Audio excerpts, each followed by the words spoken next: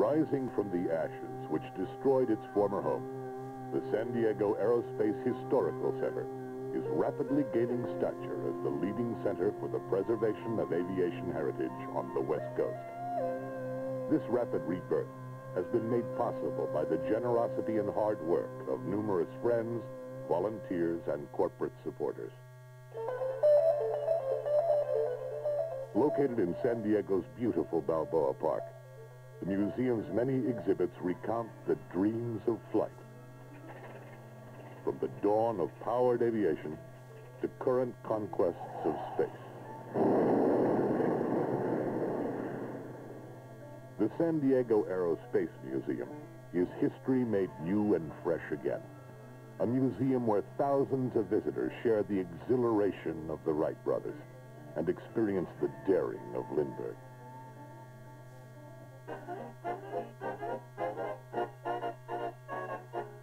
One of those who shared firsthand the daring experience of early transcontinental flight and later greatly contributed to the museum's development was Theodore Gildred, international businessman and San Diego aviation pioneer.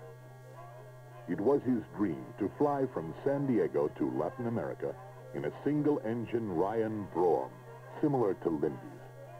His trip promoted goodwill between nations, and his Ryan Brougham became the airplane that established the first regular airmail service to the isolated cities of Ecuador.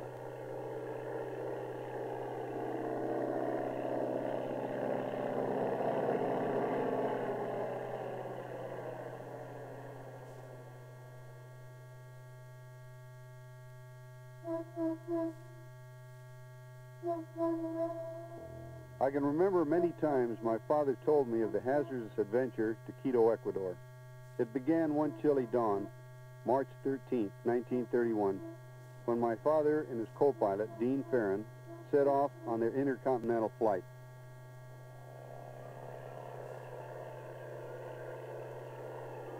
They used auto club maps and whatever else they could find to guide them on their rugged journey. Together, they braved bad weather and uncharted terrain using only a needle and ball indicator, altimeter, magnetic compass, and maps that even they called inaccurate and inefficient. Landing on the coast of Ecuador in inclement weather after a dangerous overwater leg, they provided a novel spectacle for natives, most of whom had never seen an airplane before. After two days, the weather finally cleared somewhat, and they took off into the skies again, arriving to a tumultuous welcome in Quito, a long 18 days after their departure from San Diego. Thousands of excited Ecuadorians greeted them at a landing field cleared especially for their arrival.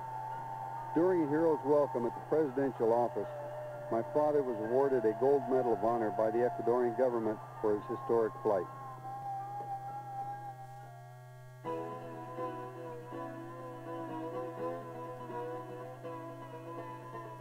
To rekindle the spirit of friendship established by his father's daring flight, Theodore E. Gildred will exactly retrace the journey to Quito on its 50th anniversary, March 13, 1981. Ted and co-pilot Wally Moore will fly a vintage Stinson, christened Ecuador 2 after his father's plane, the Ecuador. The anniversary flight, the spirit of goodwill, seeks to foster friendship throughout Latin America by stopping in Mexico, Guatemala, Costa Rica, Nicaragua, Panama, and Ecuador, and to bring national attention and support to the San Diego Aerospace Museum. Along the way, Gildred and Moore will exchange specially minted medallions and official proclamations for Latin American aerospace memorabilia. Their takeoff will mark the final symbolic flight of Ryan B-5 Brougham, thought to be the last in existence. The Brougham, a duplicate of Theodore Gildred's Ecuador, is rapidly taking shape at the museum. Talented volunteer craftsmen, many of them aerospace pioneers in their own right, are carefully restoring the old plane to its original splendor for permanent display at the museum.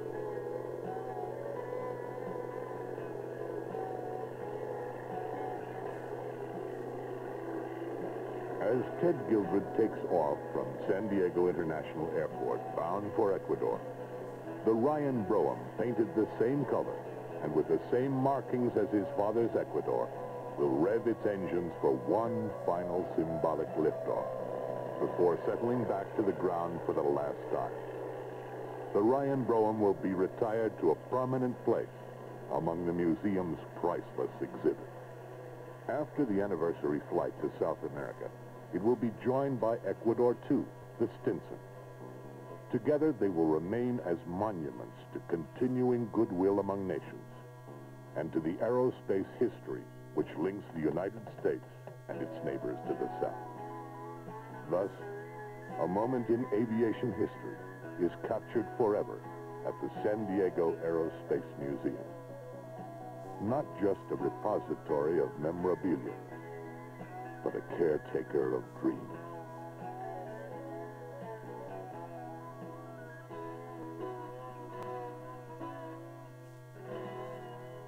Ten, nine, Dreams from the dawn of powered flight future conquests of space. one, five.